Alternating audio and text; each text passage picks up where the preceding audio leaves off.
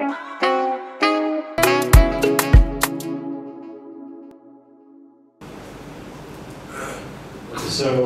we, we definitely use social media at um, as a business, obviously, primarily for marketing. Uh, and now that I talked about marketing, as a young person, social media could be one way that you could market yourself. Um, I, I, used, I used to tell uh, developers that I used to mentor that your Facebook page or your Facebook uh, profile should be something you think a recruiter should see. Uh, should be something, it's your brand out there. If, uh, if your name is Joshua Okello, be Joshua Okello. Don't be, uh, you know these names, huh?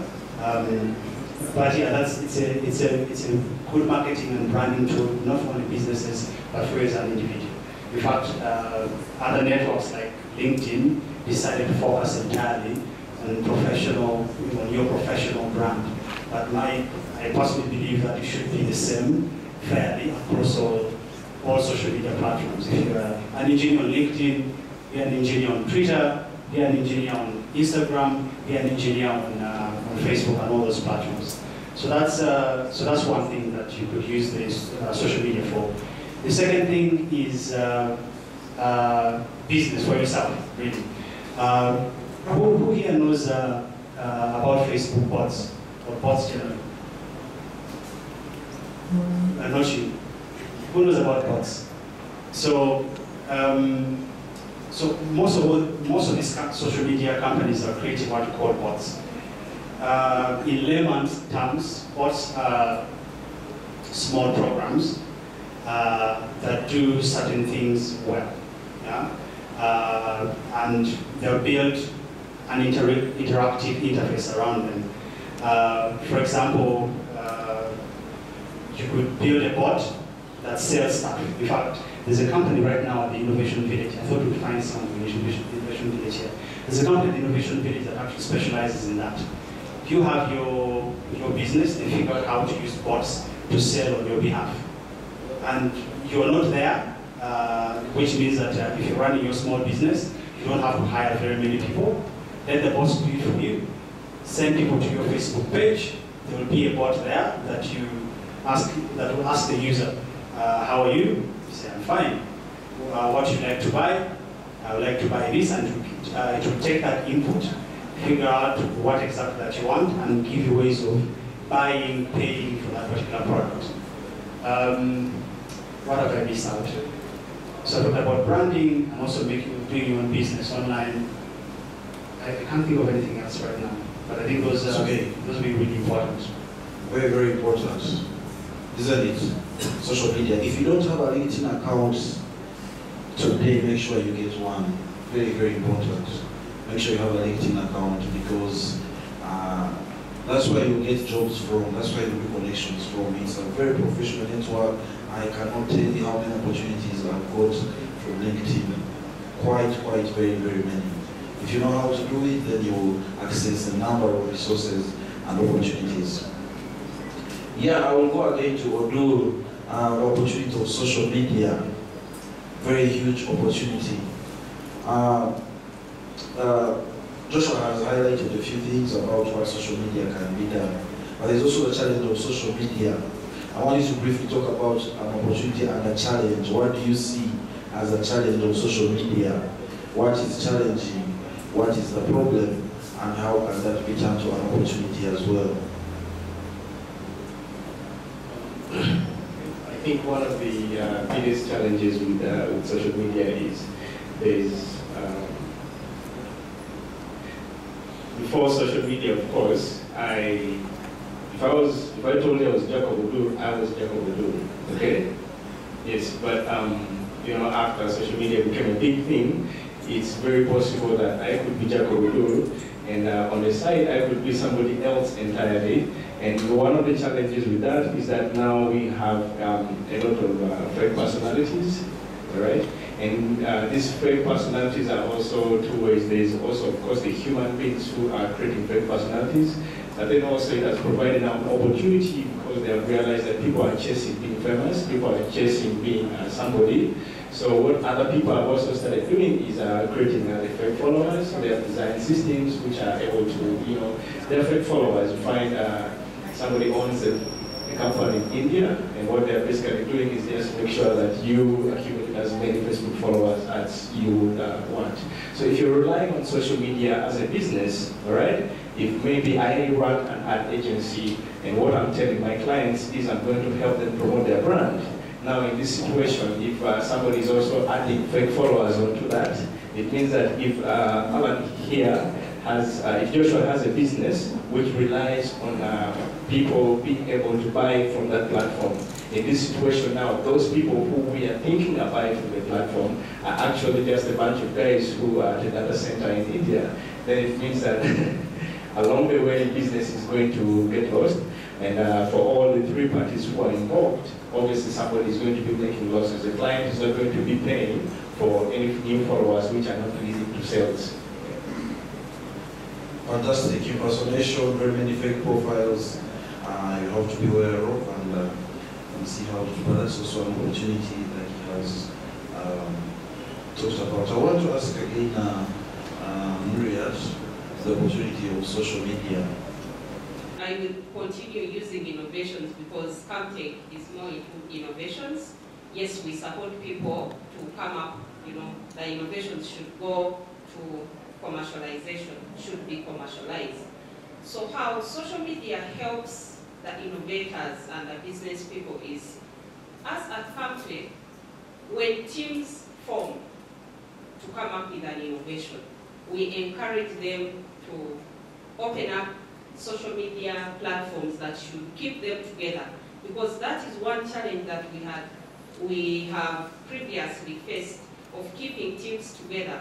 So you find you're struggling to get people together, you send maybe emails and you're the person doing it on their behalf. But how about them within themselves communicating and make sure, making sure that uh, you are one? So this has really helped us to keep the teams together, but also open up opportunities.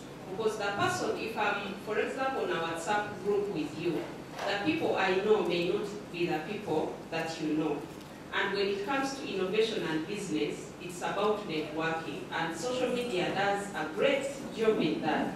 So it will help people network, it will help people connect to each other and, you know, share ideas. So you can't do without social media, and social media builds people, builds their capacities, and it creates also more skills. For example, if I have a skill that I want to share with my colleagues, we will have the, the skill share. If there is an opportunity of a grant, it's easy for these uh, innovators who have identified, or the business people who have identified uh, maybe an opportunity, for example, a call, to share it through WhatsApp groups, Facebook accounts. So social media is really key in uh, making sure that people keep together and, you know, making sure that businesses move fast. I've seen people who are advertising products on, on Facebook. I've been a beneficiary of some. Like you are in, in Mbarara, you're looking, you, you look at, for example, someone marketing dresses or some other products, and they are based in Kampala but they will make sure that that product gets to you in a few you know, days or even in a day, as long as you pay. So social media is very important in this. Fantastic. Social media very, very important uh, to keep groups together for communication, uh, for doing business. I remember in the year 2013, uh, we helped a certain uh, tailor here in Mbarara. He had a business uh, making vintage this local clothing. I'm set up a Facebook profile for him, a website, and his sales since then have just skyrocketed. He, all his clients are basically British and uh, people from the West because he has a Facebook profile that is up to date. He showcases his work and they keep referring others and others and others and it's, it's very fantastic what the internet can do. However, there's a lot of challenges that people have highlighted uh, about the internet. One, the cost is very, very expensive and people cannot afford it. Two, computer literacy and people don't know how to use, um, they, they, don't know how to use computers. So when you develop sophisticated apps, sometimes they cannot use them. I want to dive into the challenges um, of the internet and uh, technology, and I want the panelists to dive into these. I will ask Maria to begin. What are some of the challenges that you see that a young entrepreneur, a young businessman will go will face as they begin doing technology business, as they begin innovating? What are some of those challenges and what have you seen that works solve some of these challenges? Thank you. Of course, there are opportunities that we have highlighted, but there are also many challenges with social media, do with social media. First of all is the issue of time. Yes, we want to create businesses, but uh, for some of us who have worked with, uh, you know, get WhatsApp, for example. If you don't manage your time well and you don't manage yourself, WhatsApp is good, but it depends on what you're doing with it. There are many groups that you want to join, but sometimes you fail to balance your time between what you're supposed to do. For example, if you have, you have a business, we have walked to shops where you find the shop attendant is concentrating on his phone and they are not giving time to the customer. So in your mind, yes, you're also one of the beneficiaries, but you're thinking, is this person taking me for granted? And you will walk to the next shop. When it comes to innovation, you need time to get to the internet and the social media, but you need time to do some other activities that are off the internet or social media. So how do you balance that, which we are failing to do sometimes as the young people, I'll say, because most innovators are people who are, you know, in the youth bracket uh, according to any definition that you would want to take. So balancing the time is one issue between the time that you give to social media and internet activities and the time that you give to work that is offline. Two is the fake personalities that he, he, my colleague mentioned. So you need to really be careful with uh, what you interface on the internet, uh, who you interface with, and the information that we get. There's a lot of information on the internet, but it's up to you as an individual, the beneficiary, to pick out what you think you really want and what you think is right. Uh, three is, uh, there, there, are many issues, I think. I will leave the rest to my colleagues. I think they are more experts in the internet area than I do. But those are the two that I could highlight for now. Yeah, we'll go to the discussion. What are the challenges uh, that a young person who is innovating will, will face? And what have you seen that works? And what advice would you give them? I'll just, just pick it up from there. And uh, uh, you can just pick on from there. Okay, thank you. So, uh, luckily I'm Middle Eastern. Um, so, for, for some background, maybe you might wonder why I, you know, I have the right to tell you about what you're going to go through. Before I went to I, uh, I spent my, uh, my first years in software engineering uh, building startups. Uh, something around nutrition. I had a startup around, uh, you know, SafeBoda. So SafeBoda and a similar product that had built launched the same month, March 2015. Um, uh, but mostly people know me for uh, WinSenga, which is a mobile-based ultrasound alternative. So I've been, I've walked, I've walked the journey and I've learned quite a number of things. Uh, not only here, but I've been lucky to to learn it here and on one or two other continents. So if you are, if you are here, if you're based in this environment now, and you want to start a business uh, that's an innovation and it's, it's, you know, it's technology based, uh, these are some of the challenges that I think you face, and I'll, I'll also give you some, in my experience, some of the solutions I think that are there, uh, or the ones that you could, uh, you could run with. So the very first one is talent. Um, Uganda has no shortage of ideas.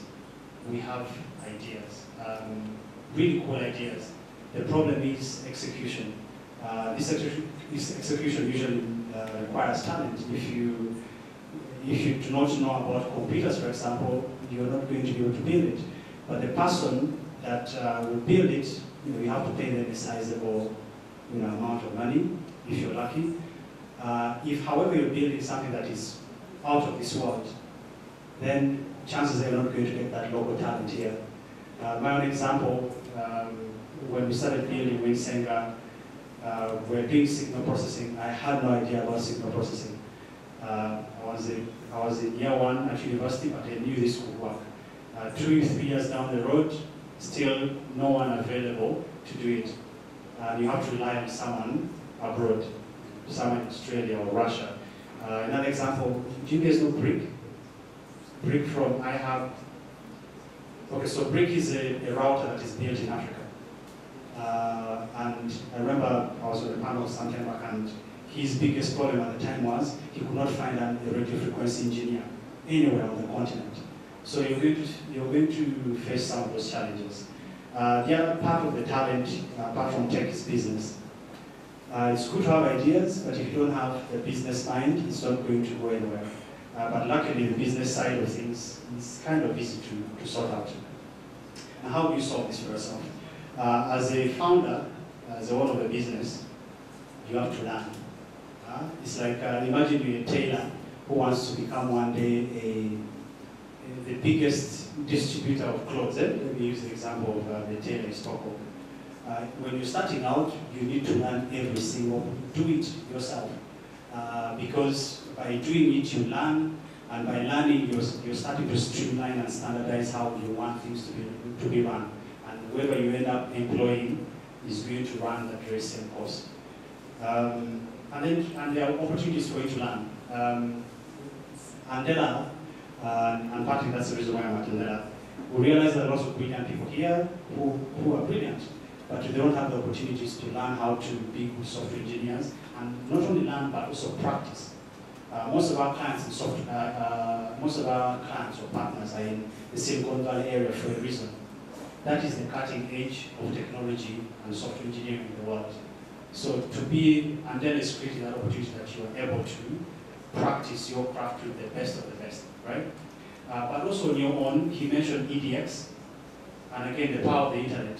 You take your time, go learn these things. There's nothing you want to learn that is not online. Seriously. Uh, the second challenge that you're going to face is around adoption uh, in two ways. So you know, Uganda, in Uganda we have this um, mindset that if it's made in Uganda, it's not good. Huh? And I'm sure you've seen these things. You walk into a supermarket, you find uh, mokene made here, and you're like, no, no, no, no, no. I want to get the one made in Kenya. Because you don't trust that what you're building here is good enough. Um, but also if you're building a, the, the, the, other, the tech side of things, like you mentioned as well, is that people are largely unaware of uh, the internet and how to use it and these apps and all these things. Uh, and my solution, my ideas around that is, in terms of adoption, that is a tough one. It's going to take a while because it's a behavioral change thing. It doesn't happen like that. It's going to take a while. Us, you know, pushing and pushing and pushing. If you have, if you have 100,000 unique, uh, locally made products in, this, in our supermarkets, people are going to have no other choice but to buy them and when you buy it, you find it's good and slowly like that.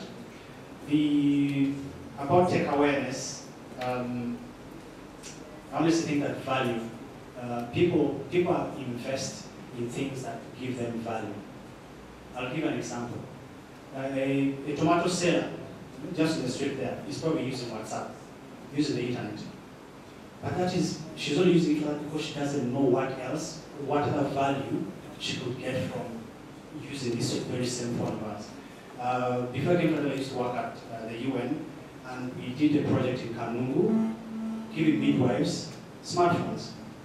They had used smartphones before, some had not, but allowing a to be able to monitor, to uh, keep track of how patients, to do all these small things, change the way you know healthcare is being delivered there, and adoption actually increased. Uh, the third thing is funding. Uh, as you know, it's, uh, it's really difficult to raise funding here if you want, and I'm sure uh, Jacob and Samuel will attest to this.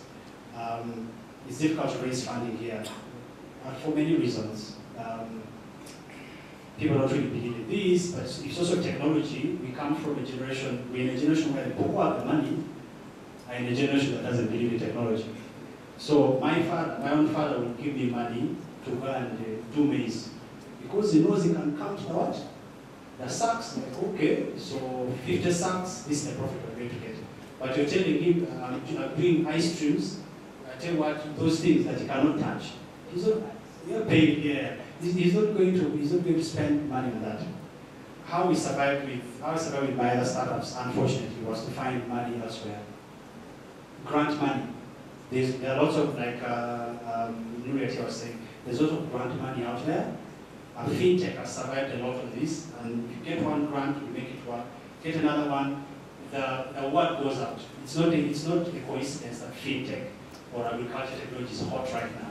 It's because of this grant. Someone gave a grant, they saw the results, like, hey, the thing works, someone hacked from here, and now we have this whole movement of people investing in agriculture technology and financial technology. Um, and then, of course, uh, there are incubators, you know, the likes of uh, Outbox or whatever, who have other ways of funding. The last thing I want to talk about is intellectual property.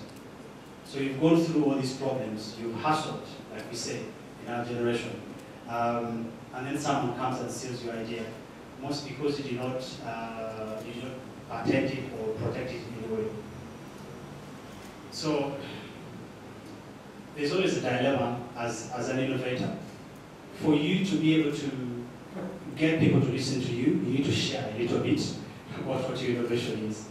But if you share a little bit about your innovation is, some guy in China, uh, no offense, uh, is going to get that idea, add one and one and get two, and manufacture it. And for you here, you're still trying to get to the two, but you know he has moved that side. How, what I've seen and what we also did was uh, two things. Say three. So the WIPO, the World Intellectual Property Organization, has, I think it's free for Uganda in particular. Go online, register.